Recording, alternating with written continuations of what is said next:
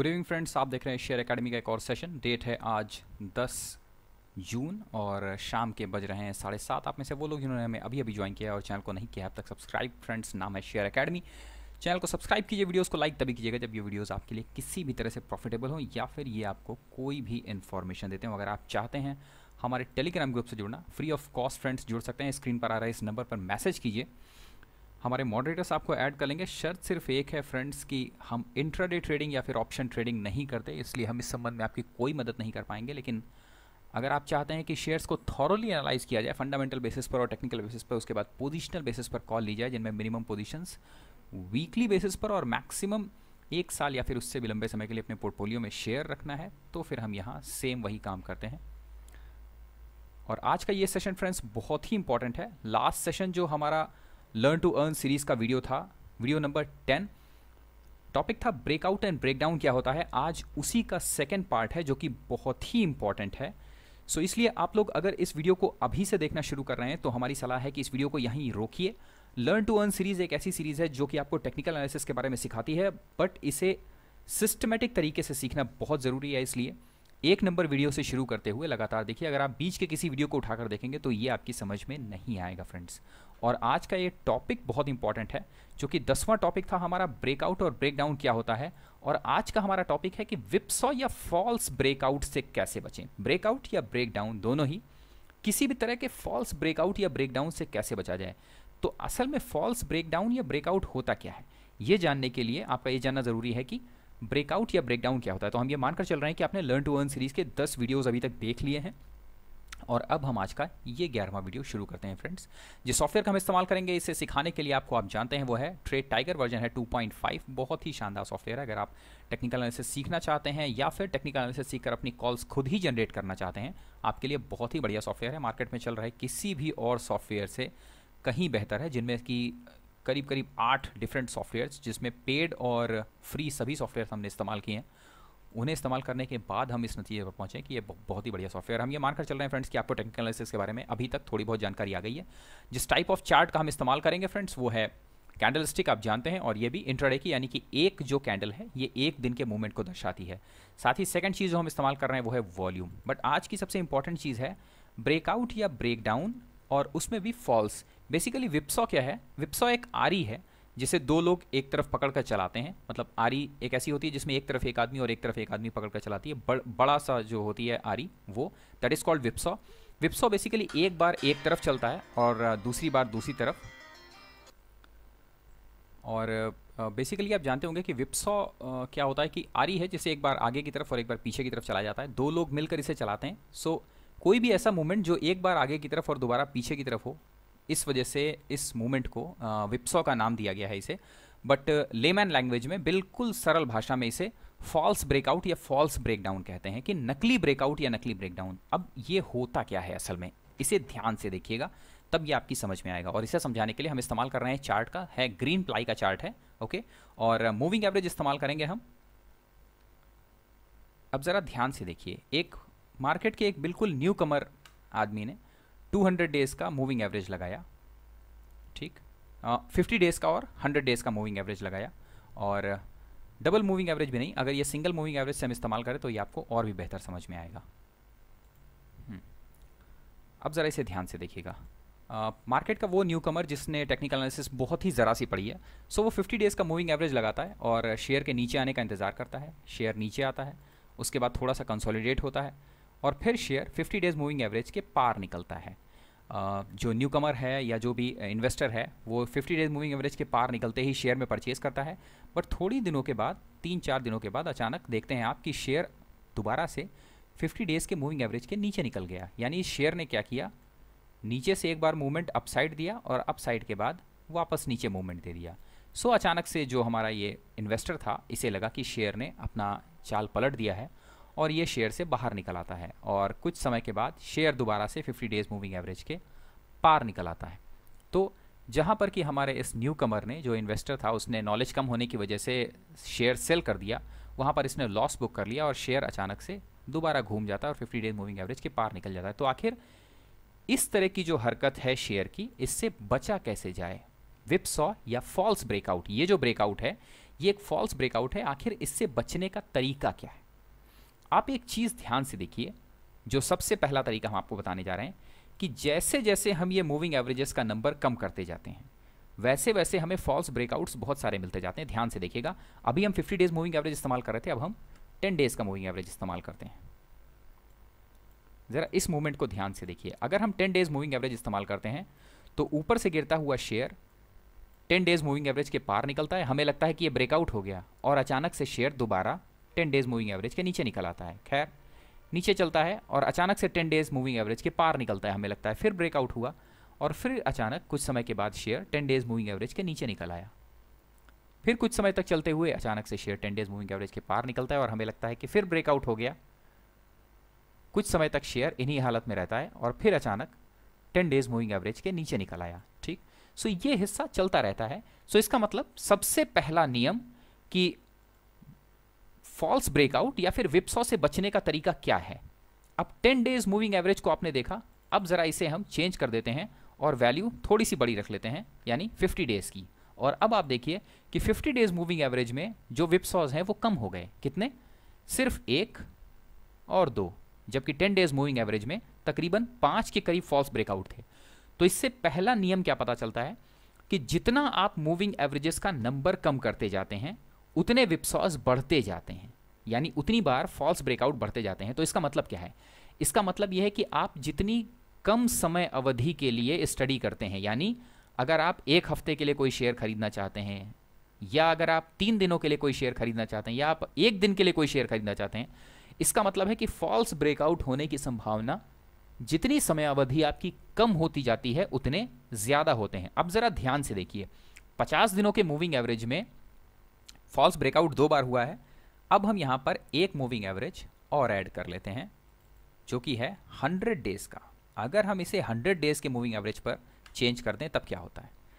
तब हमारे पास एक और दो दो फॉल्स ब्रेकआउट हैं। अब ज़रा हम इसे थोड़ा सा और बढ़ा देते हैं और हम इसे करते हैं 200 डेज़ का मूविंग एवरेज अब देखिए, हमारे पास फॉल्स ब्रेकआउट नहीं है। इसका मतलब सेम वही चीज़ कि जितना ज़्यादा आप टाइम ड्यूरेशन बढ़ाते जाते हैं, जितना लंबे समय के लिए आप एनालिसिस करते हैं, उतने फॉल्स ब्रेकआउट होने के चांसेस कम होते हैं शेयर के अंदर। ये वजह है फ्रेंड्स हमेशा ध्यान रखिए कि टेक्निकल एनालिसिस करते समय इंट्राडे ट्रेडिंग या फिर बिल्कुल short term trading share academy इसीलिए अवॉइड करता है। क्यों? क्योंकि जितनी कम समय के लिए आप एनालिसिस करेंगे, आपकी एनालिसिस में गलती होने की संभावनाएँ और गलत दिशा में ट्रेड पकड़ने की संभावनाएँ उतनी ही ज़्यादा होती जाएँगी। ओके सो पहला नियम हमेशा याद रखिए कि इंट्राडे ट्रेडिंग ऑप्शन ट्रेडिंग या फिर बेहद शॉर्ट टर्म ट्रेडिंग दो दिनों की, तीन दिनों की, इसीलिए शेयर एकेडमी अवॉइड करता है, क्योंकि जितनी आप ये वैल्यू कम करते जाते हैं अपनी एनालिसिस की, वो चाहे सपोर्ट और रेसिस्टेंस की बेसिस पर हो, या फिर अगर आप सपोर्ट रेसिस्टेंस के अलावा किसी भी तरह के इंडिकेटर्स का इस्तेमाल कर रहे हो तो ये वैल्यू आप जितनी कम करते जाते हैं, आपके जो विप्सॉ के चांसेस हैं, वो उतने ही ज़्यादा बढ़ते जाते हैं। सबसे पहला नियम यह है कि फॉल्स ब्रेकआउट या फॉल्स ब्रेकडाउन से बचने का ये एक तरीका है।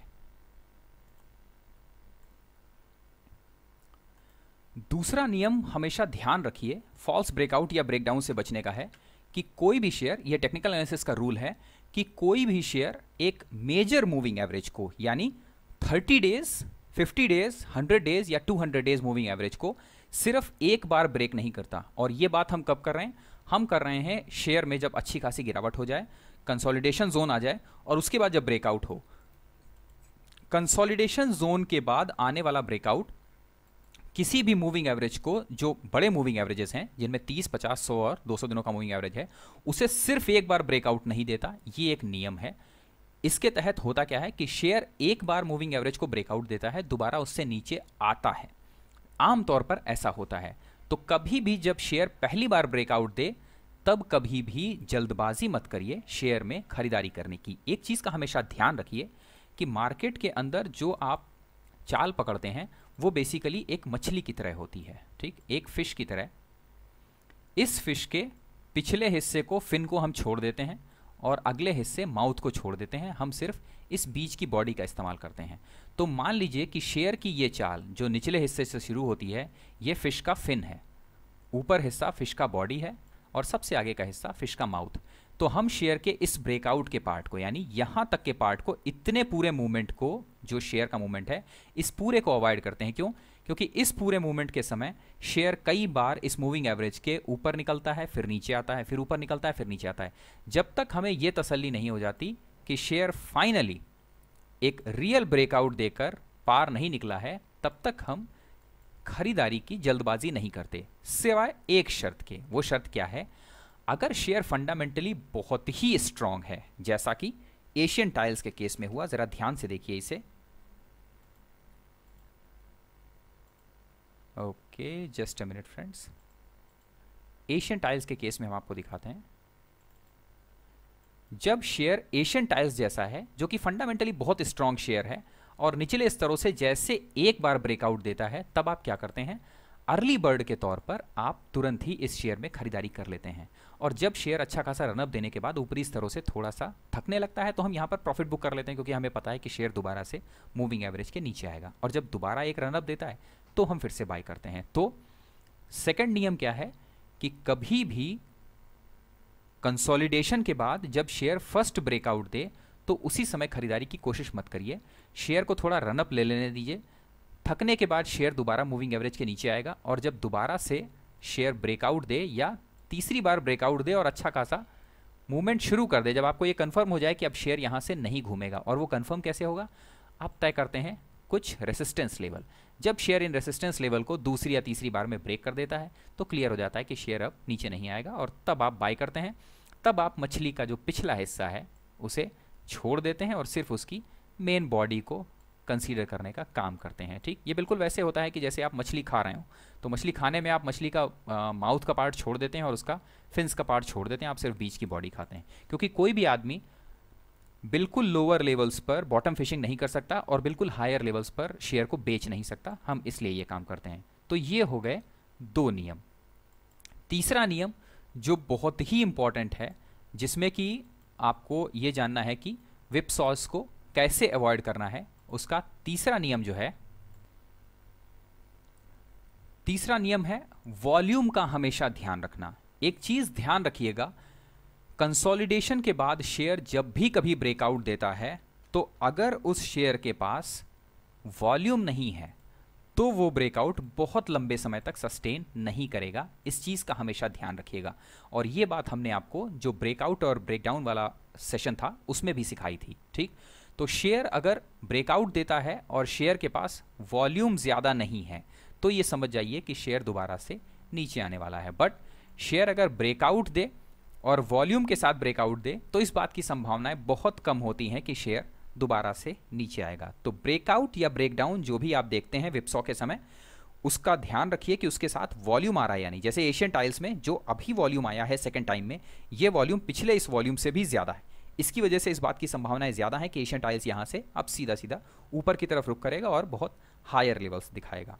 ये है तीसरा नियम। चौथा नियम जो बहुत इंपॉर्टेंट है कि अगर आपको विपसॉ या फॉल्स ब्रेकआउट या ब्रेकडाउन से बचना है तो जो सबसे इंपॉर्टेंट चीज़ है वो हमेशा फंडामेंटली स्ट्रॉन्ग शेयर्स को ही चुनिए। फंडामेंटली स्ट्रॉन्ग शेयर्स जो हैं, वो टेक्निकल्स को फॉलो करते हैं। ठीक? जैसे कि रेडिको खेतान में देखिए। सपोर्ट लेवल को रेडिको ने जिस जगह पर तोड़ा है वॉल्यूम के साथ तोड़ा, उसके बाद शेयर सीधा सीधा नीचे गिरना शुरू हो गया। ये बहुत इंपॉर्टेंट है।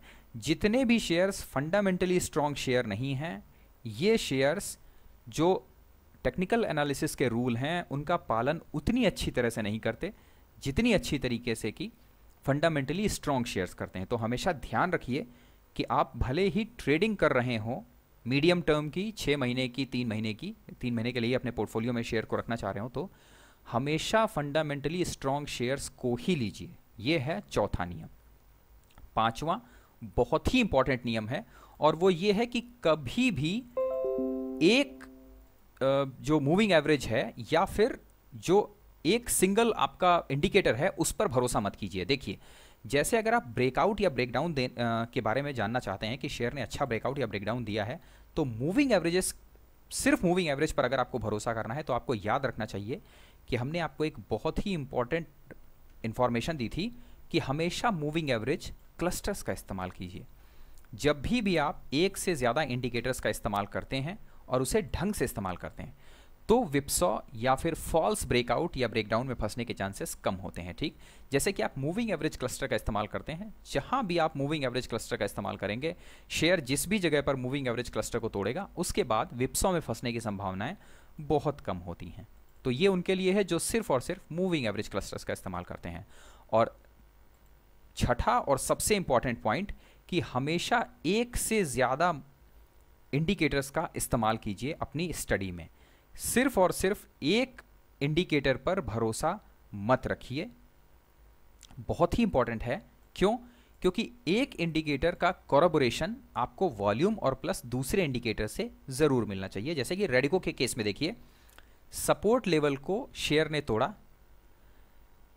मल्टीपल डेज़ जो मूविंग एवरेजेस हैं, उनसे नीचे प्लस वॉल्यूम के साथ में टूट रहा है। साथ ही ADX green red cross over green और एडीएक्स लाइन मीडियन लाइन से ऊपर निकलती हुई। रेड क्रॉस ओवर ग्रीन दर्शाता है कि शेयर के अंदर बिकवाली होगी। वॉल्यूम के साथ ब्रेक डाउन है प्लस मूविंग एवरेजेस से नीचे यानी चार कन्फर्मेशन हमें यहाँ मिल रही हैं कि शेयर डाउन ट्रेंड में जाएगा।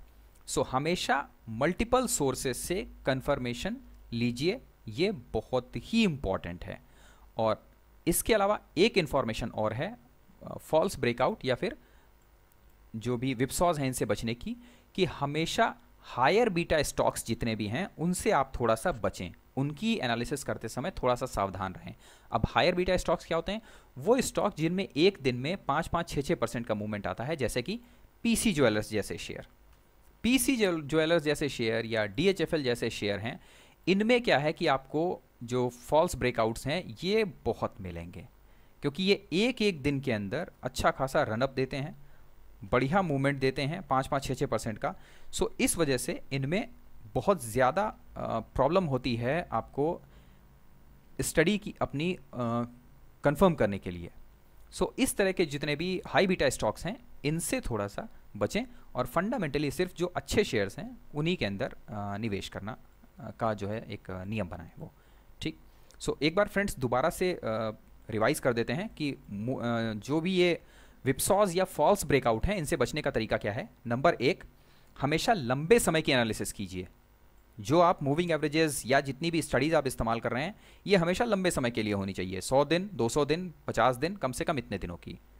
सेकंड कंफर्मेशन होना चाहिए आपका मल्टीपल सोर्स ऑफ़ जो भी आपके इंडिकेटर्स हैं, इनसे। थर्ड एक से ज़्यादा मूविंग एवरेजेस आपको इस्तेमाल करने चाहिए प्लस वॉल्यूम का कंफर्मेशन होना चाहिए ब्रेकआउट या ब्रेकडाउन का। फोर्थ सिंगल ब्रेकआउट पर ही आपको कभी भी खरीदारी नहीं करनी चाहिए।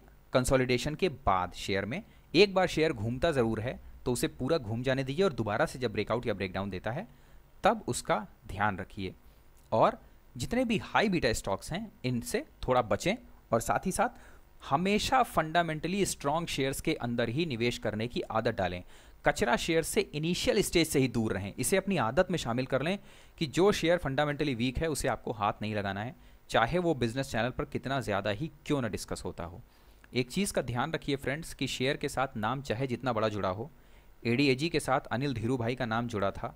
आइडिया के साथ में आदित्य बिरला का नाम जुड़ा था और जेट एयरवेज के साथ में जुड़ा हुआ था उनके फाउंडर का नाम। इसके बावजूद ये तीनों ही कैटेगरीज के शेयर बहुत ही तेज़ी से नीचे गिरे। शेयर के चलने की सिर्फ़ और सिर्फ़ एक वजह है, वो है उसका बिज़नेस मॉडल कैसा है। अगर शेयर फंडामेंटली स्ट्रांग है, उसका बिज़नेस अच्छा है तो वो शेयर रन करेगा। अगर फंडामेंटली स्ट्रांग नहीं है, उसका बिज़नेस अच्छा नहीं है तो शेयर रन नहीं करेगा। उसका नाम चाहे कितना ही बड़ा क्यों ना हो। हमेशा ध्यान रखिए कि मार्केट में अपना नॉलेज बढ़ाते रहिए, क्योंकि अंत में आप मार्केट के अंदर अपनी मदद अकेले ही करने वाले हैं। कोई दूसरा आपकी मदद करने के लिए नहीं आएगा। हमारे हज़ारों सब्सक्राइबर्स ऐसे हैं जो बिज़नेस चैनल्स देख कर फंसे गलत गलत शेयरों में और जब उसके बाद उन्होंने डिस्कशन किया हमारे साथ में तो उन्होंने बताया कि सर कैसे गलत शेयर के एनालिसिस और साथ ही साथ गलत शेयर के रिकमेंडेशंस की वजह से बिज़नेस चैनल पर देखकर उन्होंने वो शेयर्स खरीदे और उसके बाद वो शेयर्स में फंसे। सो so, हमेशा ध्यान रखिए अपना नॉलेज बढ़ाते रहिए और लर्न टू अर्न सीरीज़ का मकसद यही है। फ्रेंड्स उम्मीद है कि जो है आज का ये वीडियो था कि विप्सॉ या फॉल्स ब्रेकआउट से कैसे बचें ये आपकी समझ में आया होगा। अगर इसके बारे में आपके दिमाग में कोई भी डाउट्स है तो इवनिंग के जो हमारे सेशंस हैं, नौ से साढ़े दस बजे के, उन इवनिंग सेशंस में आप हमसे डिस्कस कर सकते हैं। साथ ही आपके जो कमेंट्स हैं, वो कमेंट्स आप हमारे कमेंट बॉक्स में जाकर डालिए। आपके कमेंट से हमें बहुत मोटिवेशन मिलता है। साथ ही अगर आपकी कोई क्वेरीज है रिगार्डिंग आज के इस सेशन की तो आप अपनी क्वेरीज भी डाल सकते हैं। और एक चीज़ का ध्यान रखिए फ्रेंड्स नॉलेज किसी के भी पास कंप्लीट नहीं है। हम भी अपने नॉलेज को मार्केट में धीरे धीरे बढ़ा ही रहे हैं।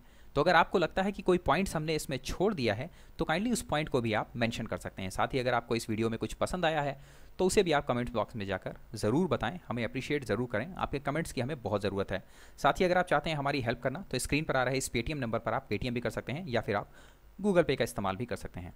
और सबसे अंत में फ्रेंड्स अगर ये सेशंस आपको पसंद आ रहे हैं और साथ ही शेयर अकेडमी से जुड़कर आपको थोड़ा बहुत भी प्रॉफिट हो रहा है, या फिर आपको लग रहा है कि आपको कुछ सीखने के लिए मिल रहा है तो हमारे चैनल को कीजिए सब्सक्राइब वीडियोज़ को लाइक कीजिए और स्क्रीन पर आ रहे इस नंबर पर आप मैसेज करके हमारे टेलीग्राम ग्रुप से भी जुड़ सकते हैं। शर्त सिर्फ़ एक है फ्रेंड्स कि शेयर अकेडमी का मकसद इंट्राडे ट्रेडिंग या फिर ऑप्शन ट्रेडिंग को बढ़ावा देना नहीं है। हम ये दोनों ही काम नहीं करते। हम यहाँ पर शेयर्स को थॉरोली एनालाइज करते हैं फंडामेंटल और टेक्निकल बेसिस पर और उसके बाद शेयर्स को लंबे समय के लिए पोर्टफोलियो के अंदर रखते हैं और हमारे एक्सपेक्टेड रिटर्न भी टेन और उससे अबव होते हैं। साथ ही अगर आप चाहते हैं हमारे चैनल का फेस बनना फ्रेंड्स तो आप बन सकते हैं। मन की बात सीरीज़ से आप जुड़ सकते हैं, अपना एक वीडियो बनाइए डेढ़ मिनट का। इस सीरीज़ इस वीडियो को देखिए, इन वीडियोस को, और आपको अंदाज़ा हो जाएगा कि आपको कैसे वीडियोस बनाने हैं। और इन वीडियोस को भेज दीजिए व्हाट्सएप पर, हमारे इन मॉडरेटर्स के नंबर पर। आप हमारे चैनल का फेस बनेंगे, और हमारे चैनल को आप अपने तरीके से ब्रांड वैल्यू बढ़ाने का काम करेंगे। फ्रेंड्स आज का सेशन यहीं पर समाप्त करेंगे। उम्मीद है कि आज का ये सेशन न केवल आपको पसंद आया होगा, बल्कि आपके लिए किसी न किसी तरह से नॉलेज बढ़ाने का भी काम करेगा। मिलते हैं। इवनिंग सेशन में जो कि होगा नौ से साढ़े दस बजे का था। तब तक के लिए अपना और अपने पोर्टफोलियो का ख्याल रखिए और हमेशा याद रखिए money never sleeps thank you very much